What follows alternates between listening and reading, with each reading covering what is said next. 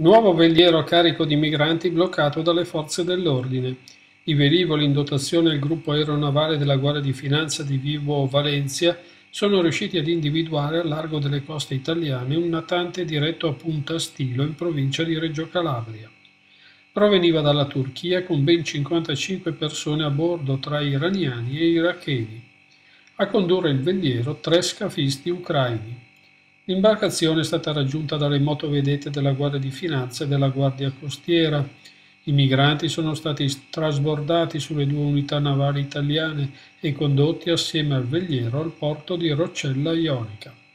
Qui si è provveduto all'identificazione degli stranieri a bordo e all'arresto dei tre scafisti. Ai magistrati italiani dovranno rispondere di favoreggiamento dell'immigrazione clandestina. Dalle prime indagini degli inquirenti è emerso che ogni migrante ha versato agli scafisti 5.000 dollari per passare dalla Turchia al nostro paese. La meta finale, anche in questo caso, il Nord Europa.